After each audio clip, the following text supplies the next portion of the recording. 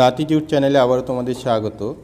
আজকের এই ভিডিওতে আমরা ভোকলেটের মেকানিক্সের যে টপ টু হান্ড্রেড প্রশ্ন, অর্থাৎ দুশোটা মেকানিক্সের যে এমসিকিউ ভোকলেট দু হাজার কুড়ির জন্য আমরা সিলেক্ট করেছি, তার একটা পিডিএফ ফাইল আমরা তৈরি করেছি। সেই পিডিএফ ফাইলটা হ্যাঁ প্রথম অংশ, কিছু অংশ আমরা দেখাবো কী রকম প্রশ্ন আছে, কী ধরনের প্রশ্ন আছে, এবং অবশেষে বলব যে এটা তোমরা কীভাবে ডাউনলোড করতে পারবে। তো অবশ্যই ভিডিওটা একটু জেড তোমরা দেখো যারা ভোকলেট দু হাজার কুড়িতে যারা পরীক্ষা দেবে।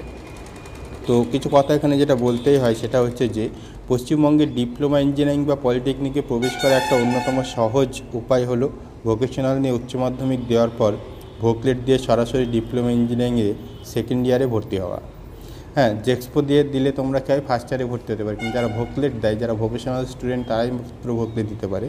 তারা যদি পরীক্ষা দেয়, তাহলে ডাইরেক্ট সেকেন্ড ইয়ারে ভর্তি হতে পারে, অর্থাৎ দু বছরে তাদের ডিপ্লোমা কমপ্লিট হয়ে যায়। অর্থাৎ সেকেন্ড ইয়ার থার্ড ইয়ার তো এই ভোকলেট পরীক্ষায় প্রতিযোগিতা জেক্সপোর তুলনায় অনেক কম, তবুও ভোকেশনাল ছাত্রছাত্রীদের উপযুক্ত পরিকাঠামো ও বইয়ের অভাবে এই পরীক্ষায় ভালোভাবে প্রস্তুতি নিতে পারে না। তো বর্তমানে ভোকলেট ভোকেশনাল এডুকেশনাল সিস্টেমের অবস্থায় পশ্চিমবঙ্গে খারাপ। তোমরা ইন্টারনেটে বা ফেসবুকে যদি একটু খেয়াল রাখো যে গ্রুপগুলো আছে ভোকেশনাল টিচারদের সেখানে তোমরা বুঝতে পারবে যে কী অবস্থায় চলছে ভোকেশনাল স্ট্রিমটা তো এই অবশ্যই এই পরিকাঠামো অবশ্যই খুবই খারাপ বর্তমানে। তো সেখান থেকে বেরিয়ে আসতে গেলে তোমাদের একটাই হচ্ছে আমাদের নিজের দায়িত্ব ভালো করে পড়াশোনা করে হ্যাঁ একটা কলেজে ভর্তি হয়ে যাওয়া। ভোকলেট নিয়ে ভোকেশনাল নিয়ে পড়ছো মানেই টেকনিক্যালে পড়ছো মানেই তোমাদের নিশ্চয়ই হ্যাঁ ইঞ্জিনিয়ারিংয়ে যাওয়ার ইচ্ছা আছে বা পলিটেকনিকে যাওয়ার ইচ্ছা আছে। এটাই আমরা বলতে চাইছি। তো দেখো এই যে ভোকেশনাল ছাত্রীরা উপযুক্ত পরিকাঠামো বইয়ের অভাবে পরীক্ষার জন্য ভালোভাবে প্রস্তুতি নিতে পারে না। এই সমস্ত ছাত্রছাত্রীরা যাতে সহজে পরীক্ষাটা দিতে পারে তার জন্য এই পিডিএফ এর নোটটা ব্যবস্থা করা হয়েছে। গত দশ বছরের প্রশ্ন এবং আমার পাঁচ বছরের অভিজ্ঞতার ভিত্তিতে এই নোটটা তৈরি করেছি। এই নোট থেকে সত্তর পার থেকে আশি পার্সেন্ট কমন আসার একটা সম্ভাবনা আছে। তো গত পাঁচ বছরে আমার নোট থেকে এরকমই কমন এসছে। কোনো বইয়ে এত সুন্দরভাবে হ্যাঁ বাছাই করা প্রশ্ন কিন্তু পাওয়া যাবে না। ভোগলেটের জন্য বই অবশ্যই আছে, কিন্তু খুব কম আছে। তো তোমরা অবশ্যই বইও কিনবে, তার পাশাপাশি পিডিএফটা যদি ডাউনলোড করে পড়ো অবশ্যই অবশ্যই তোমরা উপকৃত হবে।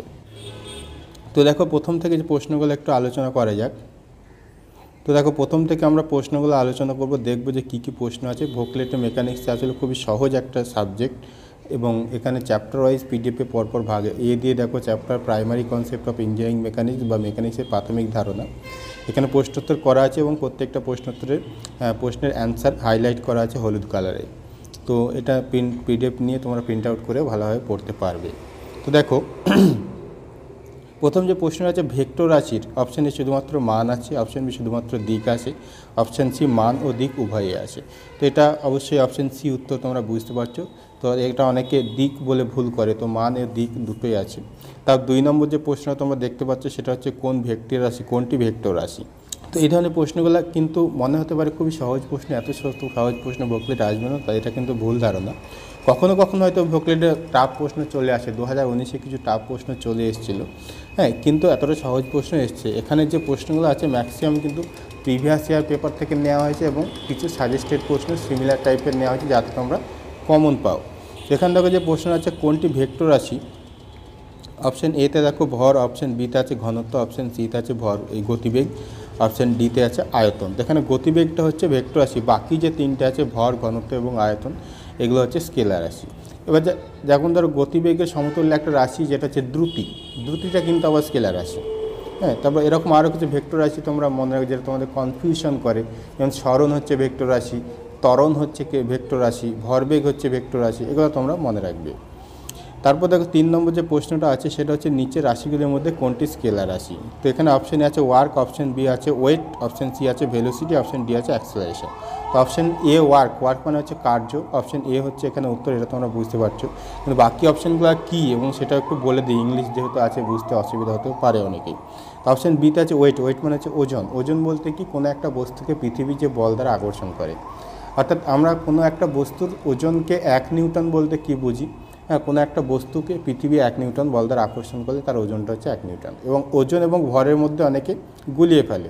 ওজন কিন্তু একটা ভেক্টর রাশি।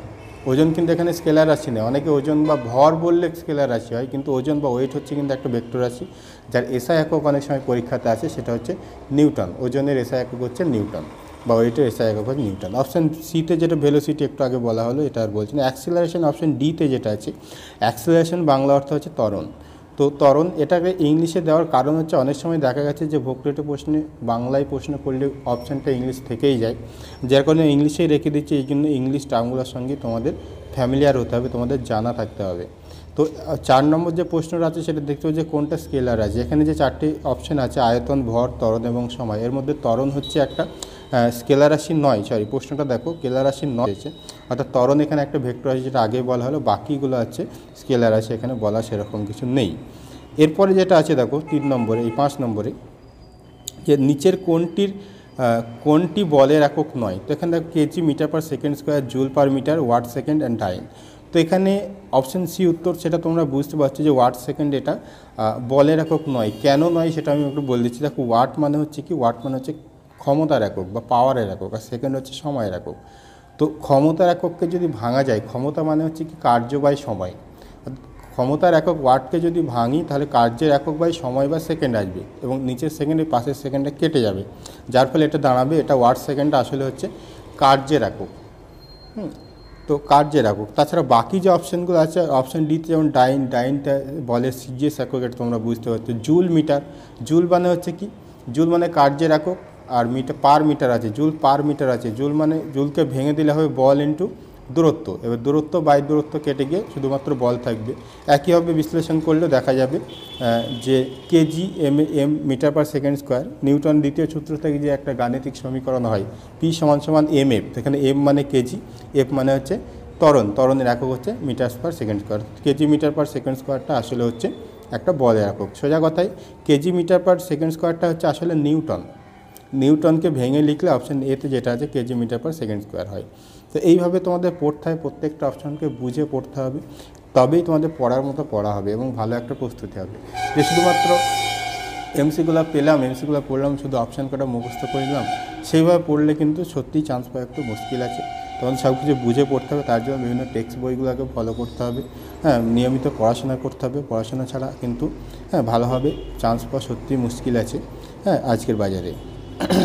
তারপর ছয় নম্বর যে প্রশ্নটা দেখো, নিম্নলিখিতগুলির মধ্যে কোনটির একক নেই? অর্থাৎ এককবিহীন রাশি কোনটা? অপশন এতে দেখো স্পেসিফিক স্পিড অপশন বিতে আছে স্পেসিফিক গ্র্যাভিটি তো স্পেসিফিক স্পিড মানে হচ্ছে আপেক্ষিক গতি। আর স্পেসিফিক গ্র্যাভিটি মানে হচ্ছে আপেক্ষিক গুরুত্ব। আপেক্ষিক গুরুত্ব হচ্ছে এখানে একটা এককবিহীন রাশি, এমনকি মাত্রাবিহীন রাশিও।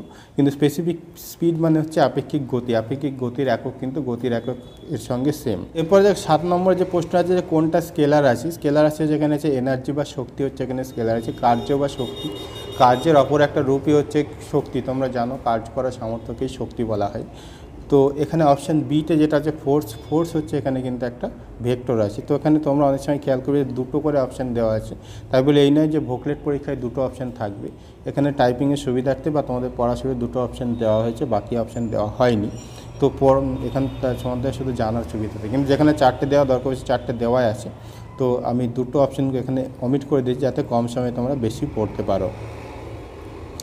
তারপরে যে প্রশ্নটা আছে যে আট নম্বরে সেটা হচ্ছে কি যে একটি স্কেলার আছে।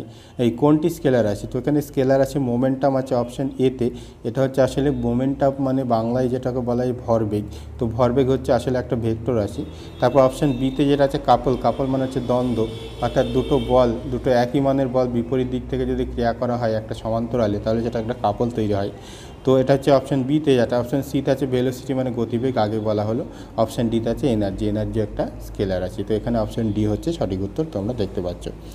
তারপর যেটা হচ্ছে ইম্পর্টেন্ট নয় নম্বরে যেটা হচ্ছে M L Q T zero তো এখানে মাত্রা এম কিউ টি জিরো মাত্রা বিশিষ্ট রাশিটা কোনটা? এখানে দেখো টি টু দি পাওয়ার জিরো মানে কি? কোনো কিছু পাওয়ার জিরো থাকলে সেটা আসলে ওয়ান হয়ে যায়।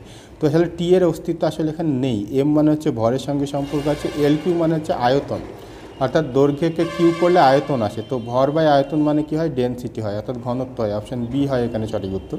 তো ভলিউম যেটা আছে ভলিউম মানে হচ্ছে শুধু আয়তন। যদি এখানে শুধু এল কিউ হতো, তাহলে তার মাত্রা হচ্ছে আয়তন। তাহলে ভলিউম উত্তর হতো। ভলিউমের মাত্রা হচ্ছে শুধু L cube L to the power three কিন্তু এখানে M L to the power minus three minus three মানে আসলে এম বাই এল থ্রি আছে, নিচে আছে বলে এখানে মাইনাস থ্রি করে উপরে নিয়ে আসা হয়েছে।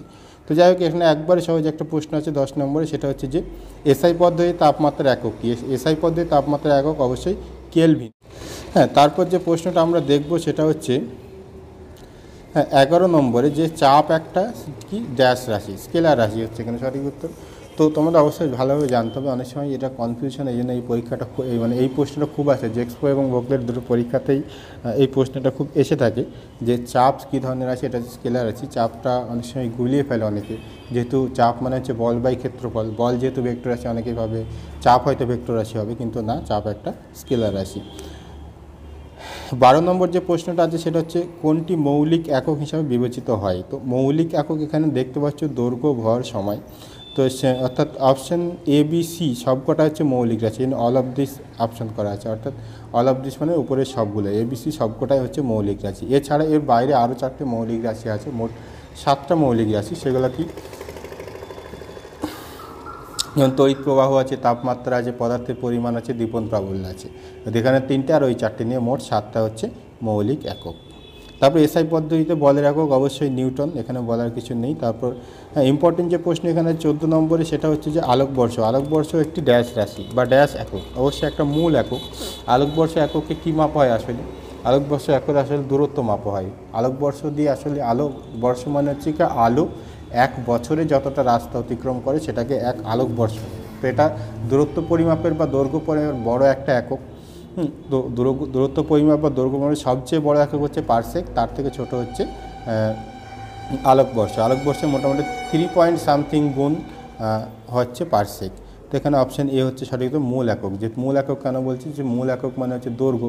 দৈর্ঘ্য একটা মূল একক বা দৈর্ঘ্যের দৈর্ঘ্যের যে এককগুলো হয়, মিটার, কিলোমিটার, এগুলো হচ্ছে মূল একক।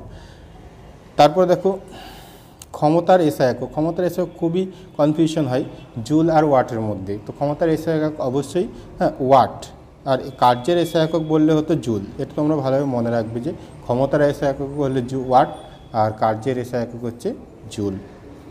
তারপর বলের ঘাতের এসা একক কি? নিউটন সেকেন্ড অপশন, এ হচ্ছে এখানে সঠিক উত্তর। আসলে বলের ঘাত মানে হচ্ছে বল ইন্টু সময়। অর্থাৎ ধরো কোনো একটা বল যে সময় ধরে কোনো বস্তুর উপর ক্রিয়া করলে বল এবং তার ক্রিয়াকালের গুণফলকেই তার বলের ঘাত বলা হয়। তাহলে বলের ঘাত মানে আসলে বল ইন্টু সময়কে বোঝায়। তাহলে বলের একক ইন্টু সময়ের একক। নিউটন সেকেন্ড হচ্ছে এখানে উত্তর, অপশন এ তারপর সতেরো নম্বর যে প্রশ্নটা আছে, সেটা হচ্ছে একটি একটি একটি ক্ষেত্রের জড়তা ভ্রামকের এসা একক কি? তো ক্ষেত্রের জড়তা ভ্রামকের এসা একক বলছে মিটার টু দি ফোর। জড়তা ভ্রামকের একক সাধারণত তোমরা যে মেকানিক্স বই দেখবে সাধারণত millimetre to the four, centi to the four. কিন্তু সেগুলো এসা একক না এসা একক বলতে গেলে মিটার টু পাওয়ার ফোরই বলতে হবে।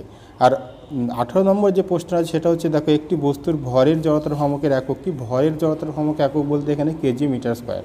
হ্যাঁ ভর ইন্টু হ্যাঁ দূরত্বের স্কোয়ার, এটা হচ্ছে ভরের জড়তা ভ্রামক তো দুটো জড়তা ভ্রামক কিন্তু আলাদা। ভরের জড়তা ভ্রামকটা দেখবে তোমাদের ফিজিক্স বই একটা চ্যাপ্টার আছে পদার্থের কণা বা কণার, কণা সংস্থা বলে এরকম একটা চ্যাপ্টার আছে, সেই চ্যাপ্টার দেখবে এই টার্মটা পেয়ে যাবে। তো যাক, দুটোই আসতে পারে ফিজিক্সে হয়েও মানে ভরের জড়তার ভ্রামক বললে। হ্যাঁ কেজি মিটার স্কোয়ার আসবে আর সতেরো নম্বর যে প্রশ্ন আছে, যে ক্ষেত্রের জড়তার ভ্রামক বলে, তাহলে কিন্তু metre to the power four হবে উত্তর। তারপর উনিশ নম্বরে দেখো, ভরের এমআই ভরের এমআইয়ের মাত্রা, ভরের এমআইয়ের মাত্রা, অর্থাৎ এমআই মানেই কিন্তু মোমেন্ট অফ ইনার্সিয়া বা জড়তা ভ্রামক তো এখানে আঠেরো নম্বর যে প্রশ্নটা, একক নিশ্চয়ই এককের মাত্রা, কেজি মিটার স্কোয়ারের মাত্রা আসলে কি হবে? দেখো, কেজি মানে কেজির মাত্রা এম হয়, আর মিটার যেহেতু দৈর্ঘ্যের একক, দৈর্ঘ্যের মাত্রা এল হয়, তাহলে এম এল স্কোয়ার আর টি জিরো টি এর জিরো মানে টি এর সাথে কোনো সম্পর্ক নেই। তাহলে অপশান বি হবে এখানে সঠিক উত্তর। তারপর কুড়ি নম্বর যে প্রশ্নটা আছে যে, কোনটি দূরত্বের একক নয়? এখানে দূরত্বের একক নয় কোনটা বলতে গেলে অবশ্যই মাইক্রন দূরত্বের একক অ্যাংস্ট্রম দূরত্বের পরিমাপের খুব একটা ক্ষুদ্র একক। তারপর যেটা দেখতে পাচ্ছ যে মাইলস্টোন মাইলস্টোনটা আসলে কোন দূরত্বের একক না, এটা একটা স্টপেজকে বোঝায় বা স্টপেজকে বোঝায়। তো যাই হোক লাইট ইয়ার বা আলোকবর্ষ অপশান ডি এটাও দূরত্বের একক, কিন্তু অপশান সিতে যে হচ্ছে মাইলস্টোন এটা দূরত্বের একক নয়। তো আজকের এই ভিডিওতে কেবলমাত্র কুড়িটা প্রশ্ন আলোচনা করলাম কিন্তু এখানে টোটাল দুশোটা এমসিকিউ প্রশ্ন আছে, যেগুলো ভোকলেট দু হাজার কুড়ির জন্য খুবই ইম্পর্টেন্ট তো তোমরা যদি সম্পূর্ণ পিডিএফ ফাইল ডাউনলোড করতে চাও, অবশ্যই ডেসক্রিপশানে দেওয়া লিঙ্কে তোমাদের ক্লিক করতে হবে, সেখান থেকে হ্যাঁ তোমাদের কিছু একটা পেমেন্ট করতে হবে, মাত্র টোয়েন্টি নাইন পেমেন্ট করে তোমাদের ডাউনলোড করতে হবে। তো এখানে কিন্তু বিশেষ কিন্তু খরচ এখানে নেওয়া হচ্ছে না। তোমাদের একটা টিউশনি পড়তে গেলে, একটা কোচিংয়ের নোট নিতে গেলে এর থেকে অনেক বেশি টাকা লাগে। তো যদি মনে হয় যে এটা কম খরচে তোমরা অনেক কিছু পেয়ে যাচ্ছে, তাহলে অবশ্যই এটা ডাউনলোড করতে পারো। আর যদি মনে হয় যে না, আমরা এত টাকা দিতে পারব না টোয়েন্টি নাইন রুপিস অনেক আমার পক্ষে অনেক বেশি হয়ে যাচ্ছে, তাহলে তোমাদের লিঙ্কে ক্লিক না করাই ভালো। তাহলে তোমাদের যেটা বলব, তোমরা চ্যানেল যে ভিডিও আছে সব বিস্তারিত দেখতে থাকো, তাহলে আশা করি সেখান থেকেও একটা ভালো প্রস্তুতি হবে। তো এই পিডিএফ ফাইলটা আসলে তাদের জন্য, যাদের এখনও ভালোভাবে প্রস্তুতি নিতে পারোনি তোমরা এতদিনেও হ্যাঁ কিন্তু পরীক্ষা যেহেতু এগিয়ে এসছে, তারা অবশ্যই এই পিডিএফ ফাইলগুলো ডাউনলোড করে তো এখানে দেখো দুশোটা বলা আছে কিন্তু টোটাল দুশো বাইশটা প্রশ্ন আছে অ্যাকচুয়ালি তো টোটাল সব প্রশ্নগুলো পড়লে আশা করি এখান থেকে অনেক কিছু তোমরা কমন পেয়ে যাবে। তো জানো তোমরা যে ভোকলেট দু হাজার কুড়িতে যে পরীক্ষা হবে, সেখানে মাত্র কুড়ি নাম্বার মেকানিক্স থেকে কুড়ি নম্বরের প্রশ্ন থাকবে।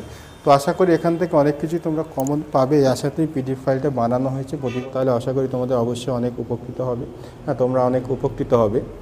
তো অবশ্যই পিডিএফ ফাইলটা ডাউনলোড করো। আর ডাউনলোড করার দুটো উপায় আছে। ওখানে হয় লিঙ্ক থেকে তোমরা বিভিন্ন উপায়ে পেমেন্ট করতে পারবে।